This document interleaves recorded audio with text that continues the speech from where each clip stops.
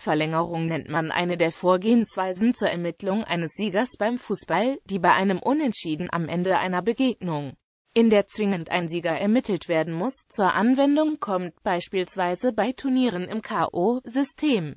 Erste nach Ablauf der regulären Spielzeit keine Entscheidung gefallen, wird das Spiel in der Regel um zweimal 15 Minuten verlängert.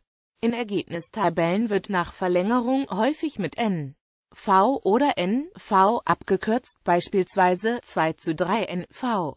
Ablauf Vor Anpfiff der Verlängerung wird eine Pause von 5 Minuten gewährt, in der die Spieler versorgt werden können, aber auf dem Platz bleiben müssen. Nach 15 Minuten Spielzeit der Verlängerung unterbricht der Schiedsrichter das Spiel kurz für einen Seitenwechsel. Es gibt aber keine Halbzeitpause.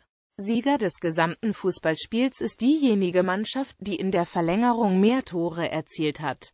Im Modus mit Hin- und Rückspiel greift meist die Auswärtstorregel.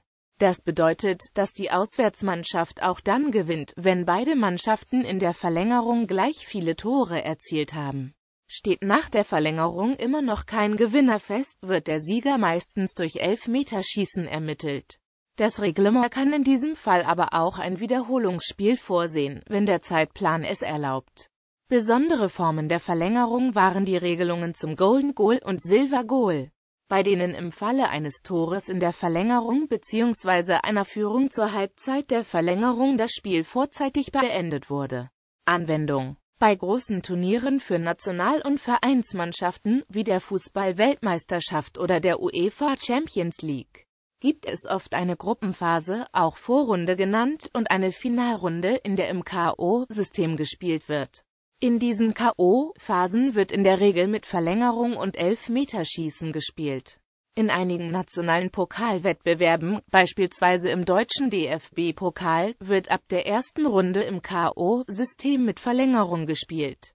Turnierordnungen können abweichende Regelungen treffen. So kann auch auf eine Verlängerung verzichtet werden und sofort ein Elfmeterschießen stattfinden.